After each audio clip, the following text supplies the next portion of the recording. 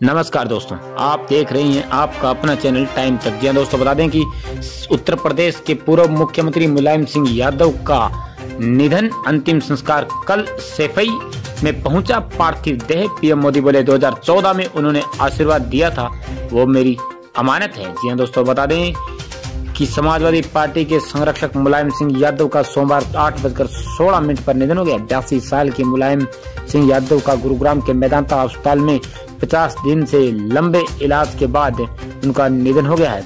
निधन के बाद बेटे अखिलेश यादव ने जानकारी दी कि मेरे आदरणीय पिताजी और सबके नेताजी नहीं रहे। मुलायम के निधन पर उत्तर प्रदेश में तीन दिन और बिहार में एक दिन के राज्य के शोक का ऐलान किया गया है। अंतिम संस्कार के लिए मुलायम का पार्थिव शरीर सेफई स्थित पैतृक निवास लाया गया है। मंगलवार दोपहर तीन बजे राजकीय सम्मान के साथ उनका अंतिम संस्कार किया जाएगा।